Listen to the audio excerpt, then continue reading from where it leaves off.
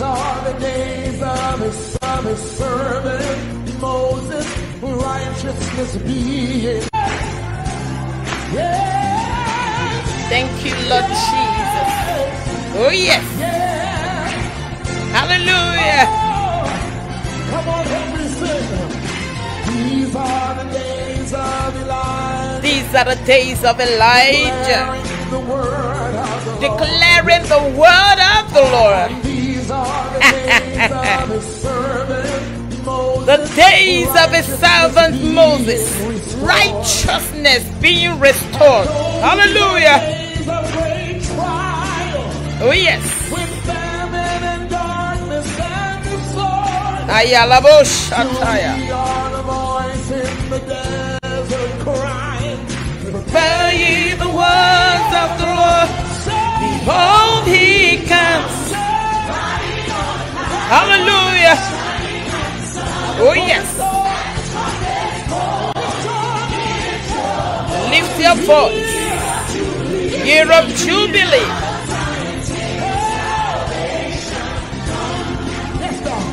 And these are the days of Ezekiel. All the dry bones becoming as The days of Ezekiel. Dry bones becoming as flesh. Oh, yes. Rebuilding the temple of praise. These the last days of. The last days of the harvest is here. The fields are all wide throughout the world. We are the laborers in the Lord's vineyard, declaring the words of the Lord. Behold, he comes, riding the clouds, shining like the sun. And the trumpet call, your voice. It's the year of Jubilee. Out of Zion till salvation come. Hallelujah.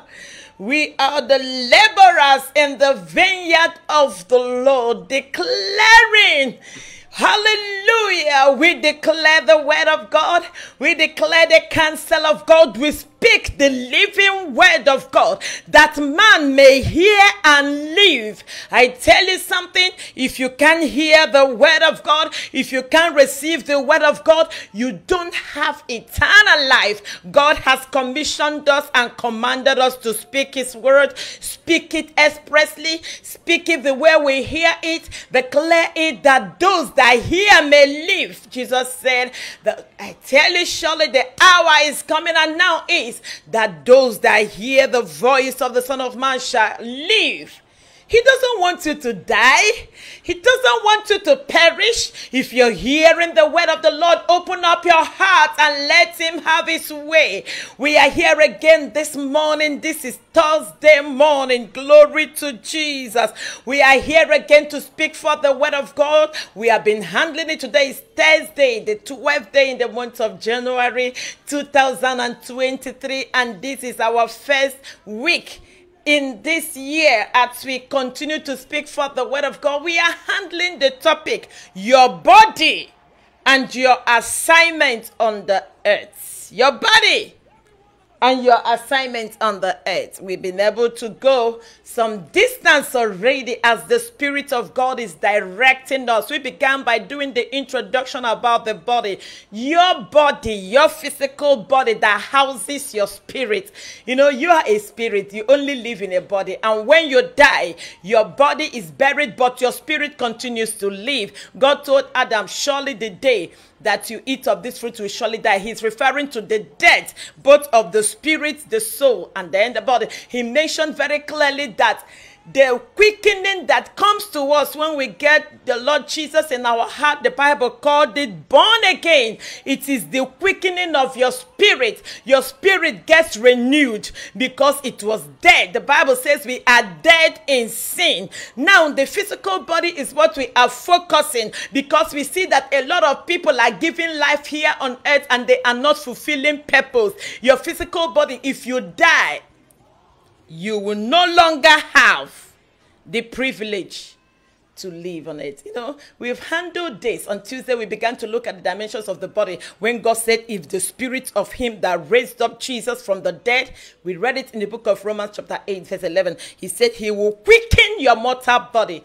That word, quicken means to vitalize means to give life to your mortal body i hope you know this mortal body is racing towards death it's racing towards the grave you give birth to a child today, by tomorrow they'll ask you, How old is the baby? A day old, and then three months old, and then 30 years old, and 70 years old, and 90 years old. Everyone you see today that is old, very old. You know, I like looking at old people wrinkled. I see them. Some of them are bent because of age. Some of them are wrinkled. You see the wrinkles on the face. I look at them. I see the gray hair coming up, and I like, wow, come on now.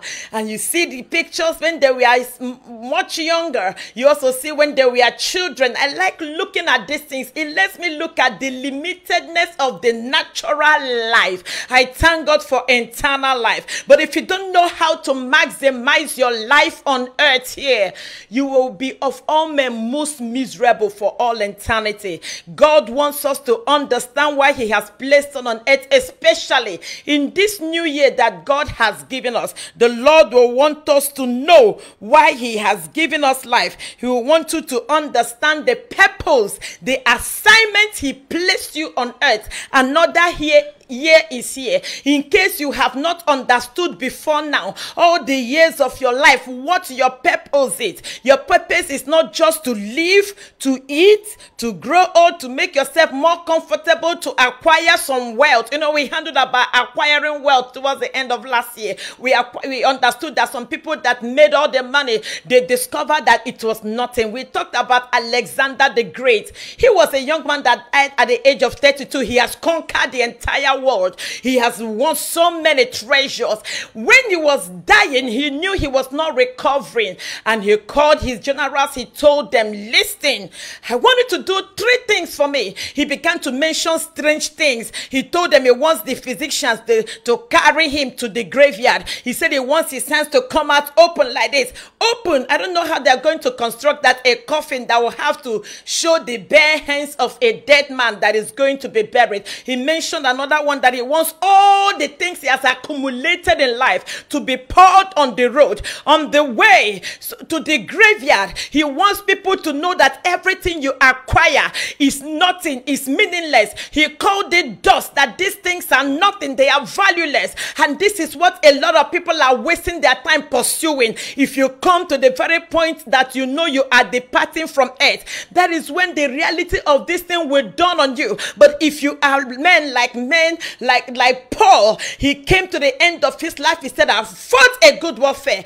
I have fought a good fight. I have finished the course. There is a course, and it's a course of life where this body needs to be maximized and utilized. And when it's time for you to go, you can say, "Now I am looking forward to my departure." Come on, now I have seen men who have died. They died excitedly. I have read about men who have accomplished their purpose on earth. When it was time to die, they were looking forward because Apostle Paul said, It is not only for him, but for those who are looking forward for his appearing. If you look forward to, to the appearing of the Lord, your life will be meaningful, your life will be purposeful. You will discover that a lot of things will be eliminated out of your life. There are so many things that are clinging and clinging into the life of some people because they are not living according to purpose. We have handled some things already. Today is Thursday, and we want to concentrate on this thing, the sustaining that we get from the Spirit of God. God said, If the Spirit of Him that raised up Jesus from the dead, if He dwells in you, He will vitalize your mortal body. That means weakness is not permitted to hinder you in fulfilling your assignment. We looked at Apostle Paul, we saw how he was able to accomplish all that was given to him. Jesus appeared to him and told him, They have apprehended you in June. They are going to go to Rome. You are going to testify before kings, before all that matter. Be bold Hold on, it's my destiny for you. You know, that was what God told him. He said, I've showed him how many things he will suffer for my sake. Do you know that there are things that God has carved out that you should fulfill in life? My prayer for you this year is that you be able to discover them and fulfill them. You may say, I'm not called to be a preacher, but there is something you are called to do. What is it? Have you discovered it? That thing that when you discover, even your physical food will lose its taste. You will prefer pursuing it. One of the signs that you will discover about your passion in life is those things you do that gives you fulfillment, that gives you satisfaction, as if you have eaten and well, well fed. We're going to look at that today as we look at the scriptures. Thank you, Lord Jesus. We want to read, and we are talking about the Lord Jesus. Praise the name of Jesus. I'm reading the book of John, chapter 4. From there, we're going to find out this dimension of the quickening of the Spirit of God that seems to defy the laws of this body.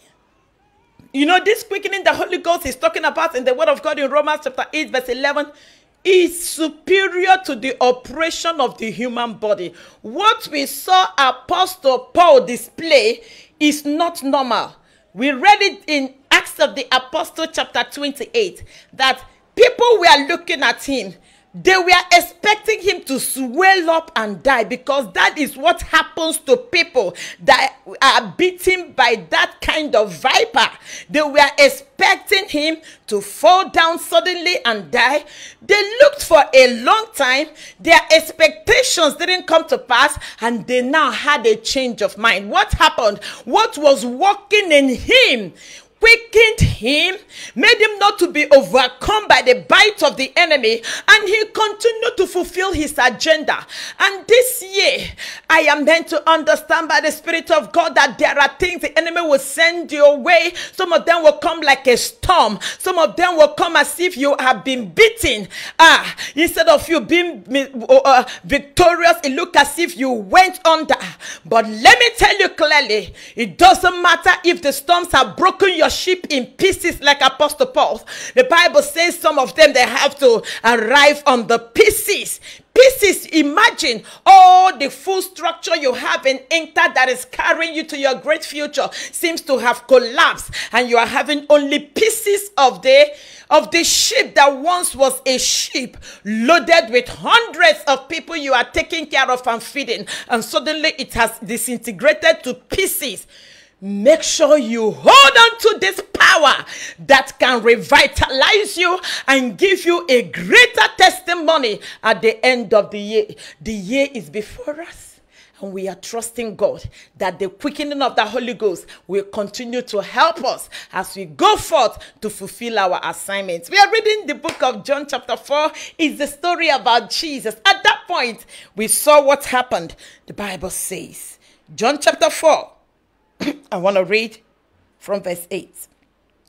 For his disciples had gone into the town to buy supplies, to buy food. Yes. The Bible says, So the Samaritan woman said to him, How can you, a Jew, ask me a Samaritan woman for water to drink? For the Jews use not the Jews use nothing in common with the Samaritan. Jesus answered, Hey, if you had known the gift of God and who it is who said unto you, Give me some water to drink, you could have asked him, and he could have given you living water. Sir, the woman said to him, You have no bucket, and the well is deep. Where then do you get this living water? Surely you are not greater than our ancestor Jacob, are you? For he gave us this well and drank from it himself, along with his sons and livestock. Jesus replied, Everyone who drinks of this water will be thirsty again. If you read this, you'll continue to see the conversation that was going on between Jesus and this woman. And it came to a point where Jesus came to a point. He said, Woman, the woman said to him, Sir, I see that you are a prophet. Our fathers worship in this mountain. And Jesus replied and said, Believe me, woman, a time is coming when you will not worship the Father neither on this mountain or in Jerusalem. 22.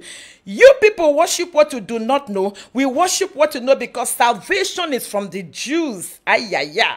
But a time is coming, and now is where when the true worshippers will worship the Father in spirit and in truth. For the Father seeks such that will worship him. Note that. The Father seeks such people to be his worshippers. God is spirit, and those that worship him worship him in spirit and in truth.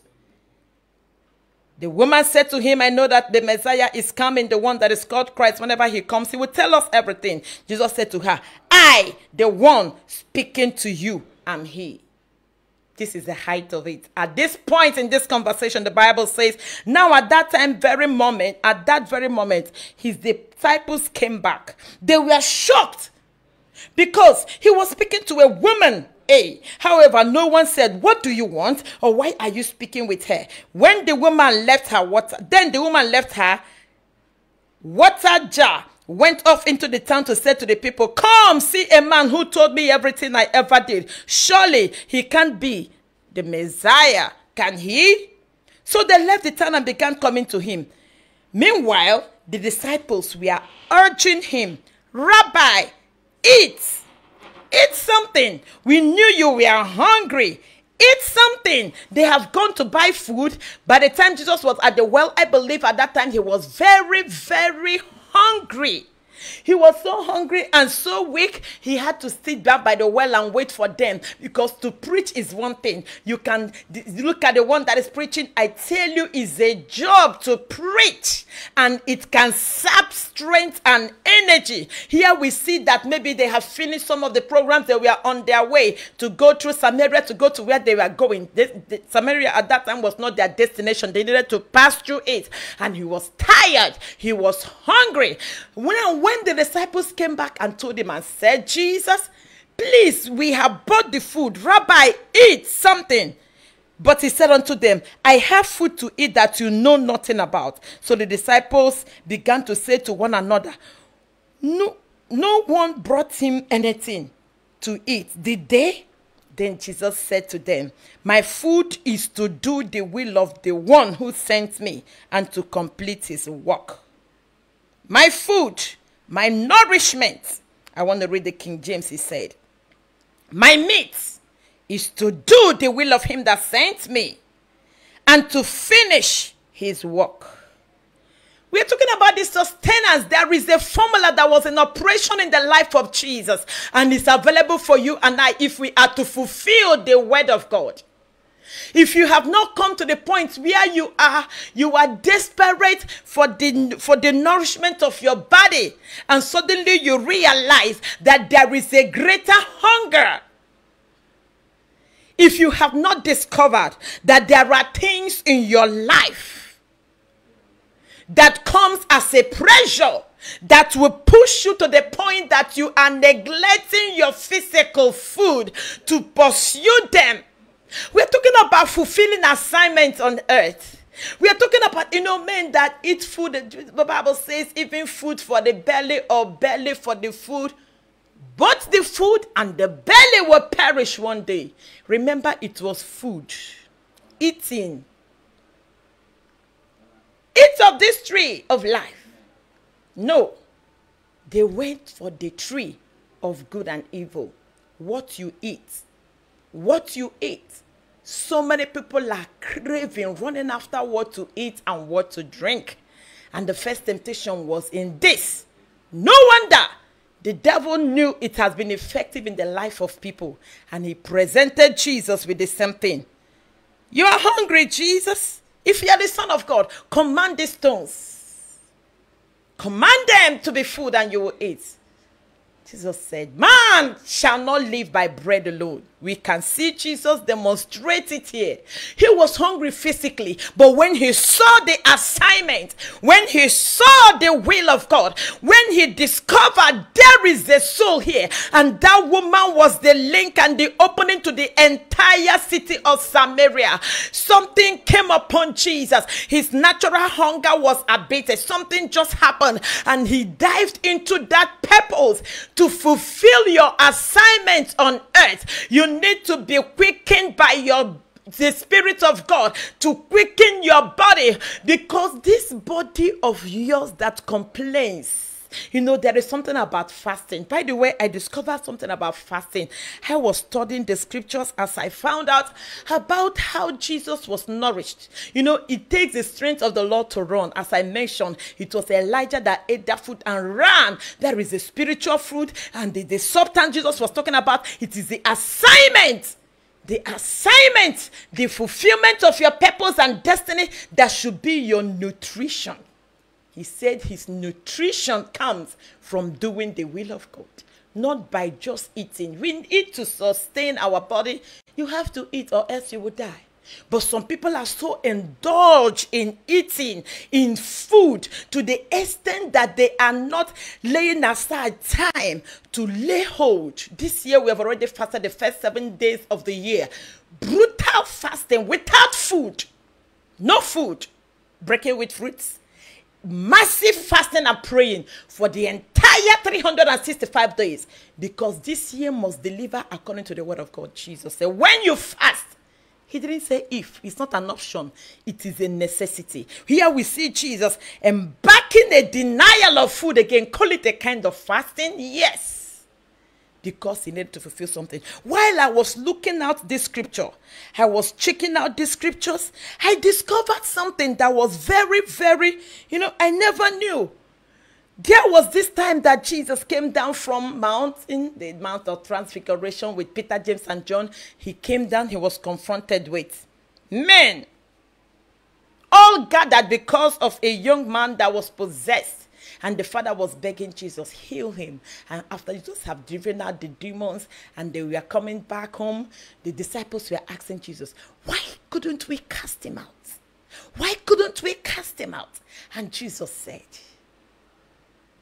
this kind cannot go out except by fasting and prayer. So I began to check up my scriptures. I want to get all of them. The one in Matthew, the rendering in Mark, Luke, you know. And I found out something here. In the book of Matthew, chapter 17, I read from verse 20. Jesus said unto them, Because of your unbelief. For verily I say unto you, if you have faith as a grain of mustard seed, you shall say to this mountain, Remove hence and to yonder, and it shall be re- removed, and nothing shall be impossible with you. How be it? This kind, that is verse 21 of Matthew 17, this kind goeth not out, but by prayer and fasting. Now I love using different translations. So I looked up this. I wanted to read it from other translation. This kind goeth not out. So there are kinds. There are kinds that will go out and there are kinds that will not go out. In fasting and prayer, you, in fasting, you needed to add your fasting to your prayer for some dimensions to move. I believe that if Jesus have opted the option of eating Hey, I'm so tired. After all, I just finished preaching to the crowd, and we are still having a big journey ahead of us to go and minister to the other people. Let me just relax. After all, it's just one woman. I can just forfeit it. Besides, I'm very hungry. He took that option of ministering. Sometimes your body can limit you. That is why you need the quickening of the Holy Ghost. Yes. He said, This same Spirit of God that raised up Jesus from dead, He will quicken your mortal body. You need the quickening of your mortal body. I pray that no part of you will be limited because of the weakness. No assignment of your purpose this year will be limited because of the weakness of your body. Jesus went ahead and trusted God for strength. He ministered to this woman to the extent that when the disciples had brought the food, he told them, No, I have food to eat that you do not know of. It is sustaining, it is nourishing, it is feeling like a physical food. I tell you something. After these seven days, the first seven days, we still have more fasting. Like today, we are still fasting. I'm adding it to prayer because we have some routine. We don't just fast monthly, we fast weekly. Why? Because we know there are dimensions that must break break up in fasting and prayer. So while I was reading this place, I discovered something and I was like, what is this? I started looking out for the other translations. I discovered something in NIV, New International Version, doesn't have Matthew chapter 17, verse 21. I didn't see it there. What I saw was omitted from the main text. Why will this verse be omitted? I saw the message Bible. The message Bible have it in verse 21, and they were grouping yes. And look at this. I discovered what is happening. Why is this verse not there? NIV doesn't have it. New Living Translations doesn't have it. But New King James Version have it. This kind cannot go out except by fasting and prayer. Before now, I've had people talk about some verses of the scriptures are omitted by these newer translations. They are beautiful. They explain this King James, old King James English, in a in a simpler English, you can read it and understand it better. But I discovered something because someone have told me before. Have you noticed there are some verses that we are omitted? I didn't really pay attention to that, but today I discovered that this verse that is very important about fasting, this kind cannot go out except by fasting and by prayer. It was omitted. No wonder this thing is being omitted in the life of the people. They'll prefer prayer, you know. But when it comes to brutal fasting, Jesus said, when you fast, He recommended fasting. He knows that it's something you cannot do without. For your some people, overindulgence in food has become a sickness to them. Yes. Do you know that when you fast, one of the things it does is cleanses your system. It makes it refreshes you. You even look younger. You look more energetic, and more. What is more, you are building your spiritual tenacity. You are doing things you couldn't do before. Jesus was able to the, to through the denial of the food, even when the food arrived. he said, "No, I have a meat to eat. I have a food to eat. You don't know nothing about." The discipline of food is what I want to beg you this year. Today, Thursday, 12th of January. In all you do, embark on fast. If you have not begun to fast for this year, please start it. And when you start, you're going to have some battles. The devil will tell you, must you go all the way? Why don't you just break, break by 12? Determined to seek the face of God for the year. And when you pray, there is a purpose in praying and there is a purpose in fasting. Some people want to fast because they want to reduce their weight. that is not fasting. You are just going on hunger strike. I'm talking about fasting for a purpose. Jesus denied the food. He was sustained by the purpose of what he was pursuing to the extent he told them, I, I am filled. I have a food to eat you don't know nothing about. Wow. You don't know nothing about. Disciples didn't understand that kind of food, that kind of diet. He was able to minister to this woman, not only to this woman, the entire city. They begged Jesus to stay two extra days. Why? He was able to break through into that dimension of ministration because of his denial of the physical food. I trust the Lord to give you the strength to persevere in fasting and prayer in this, especially this January. Yes, we began our own immediately. We stepped into the crossover into the year. Our fasting started the first seven days. We were fasting and praying, declaring throughout the year. That doesn't mean that we're not going to fast again. Periodic fasting comes and goes. It disciplines you. I remember the Lord disciplining me through fasting those days. I was on duty. I will fast. And when it's time for me to break my fasting, I fasted from home. I came to the office. I finished fasting. I continued. I wanted to break my fasting. And I remember a particular day, I just finished fasting. I bought the food I wanted to eat, my chilled Coke bottle of coke was there and my food very hot food and i wanted to eat and somebody just walked in and the Lord said, the person, hey, Joy, you're eating. Hey, I will eat. And those days, people can just join you to eat. And I was like, oh no, this is what I just want to eat. I just finished fasting. And the Lord was like, let it go. Let it go. The person ate the food. And this person was not fasting. May have been fasting. Until you know how to discipline yourself in food, you are not really making any headway. I tell you, when it has to do with purpose. Another time I was to eat, nobody was there this time. I was I was just finished brutal praying and fasting. And I wanted to descend on this food. and while the food was before me, I heard the Lord say, Joy, leave this food. Don't eat it now. I was like, wow I just finished fasting. I'm hungry. I should eat. What is the Lord teaching me again? I left that drink. I left that food. And the Lord said, Don't remove it. Keep it in front of you. I want to teach you discipline. I, the food was before me. The hot food went and became cold. And the hot cold drink became warm as in it lost all this thing it was before me i could have just started eating my food but i was like the lord is teaching me discipline If you don't know how to develop discipline, fasting is one of the things that can teach you that. Some things will not be broken in your life. Some people, some sicknesses in your body. All you need to do is to engage in fasting and praying and discipline that body. You discover that that thing will be broken out of your life. There are hereditary, the Lord is making me to understand. There are hereditary diseases and sicknesses that runs in the family. Somebody hearing me you need to engage in this kind of fasting. Deny yourself and speak to that situation. It will be broken.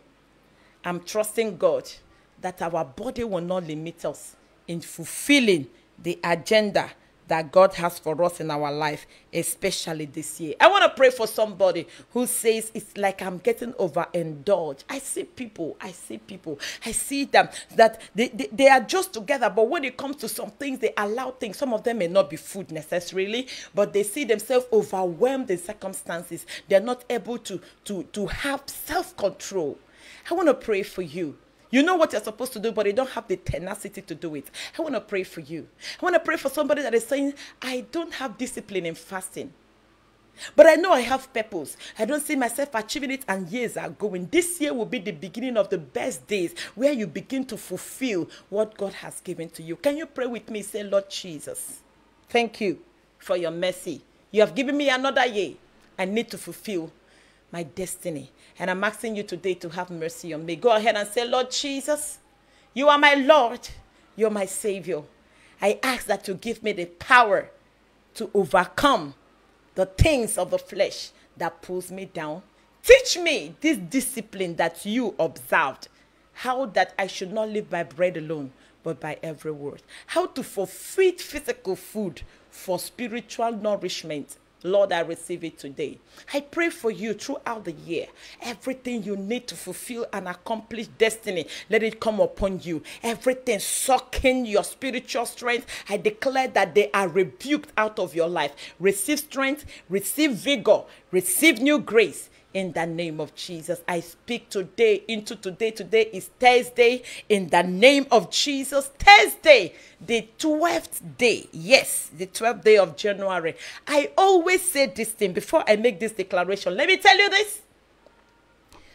The works of wickedness have already calibrated days and they have already planned some deaths I told you how it was that I was looking at one of my colleagues several years ago. I didn't know that he has been marked for death, but my spirit perceived it and I was watching him walk away and few minutes later he was dead something was calculated. I want to make a declaration into today because there are people carelessly walking into what the enemy has projected. Can I take two, some few minutes and handle this? There are people that carelessly walk into what the devil has projected, what the enemy has pronounced. Some of you will see it in the dream, and by the time you wake up in the morning, you, you even forgot the dream. Maybe it is an accident, an affliction, a setback, a demotion, an attack. You don't just live your life carelessly. I want to make a declaration not only today, but I speak into the year 2023. You will not be a casualty in the name of Jesus. Projections of affliction, projections of infirmity, projections of diseases, projections of setback in your business, projections of failed marriages, projections that are sent from the pit of hell it will not be effective in your life. And right now, I lift up my voice and I begin to declare every work of wickedness in your vicinity, every work of darkness in this environment, hear the word of the Lord today. Every agent of darkness, I speak as the oracle of God today. Everything that I've been projected into this year, everything that I've been projected over the people, the spirit of failure, the spirit of sickness, the spirit of I declare as the servant of God that those projections are hereby neutralized.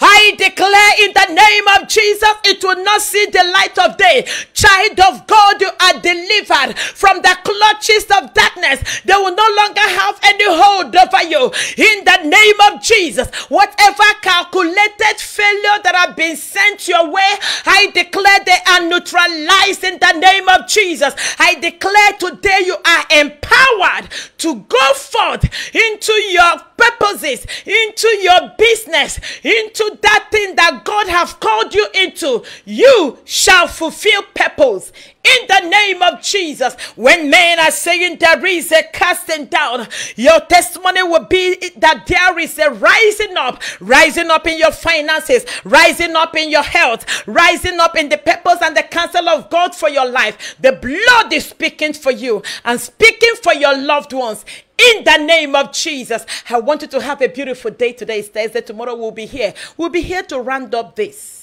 I wish we have time. We have so much to handle. If the Lord permits us to carry on next week, we're going to do that. If not, please, I want you to look into the Word of God. We have quoted so many scriptures in the body and the assignment you have on earth.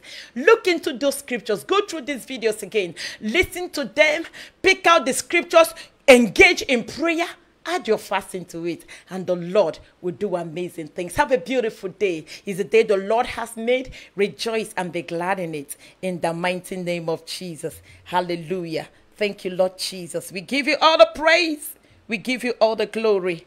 In Jesus' mighty name we have prayed. Amen. Hallelujah. Behold, it comes, riding on the clouds, shining like the sun. Hallelujah.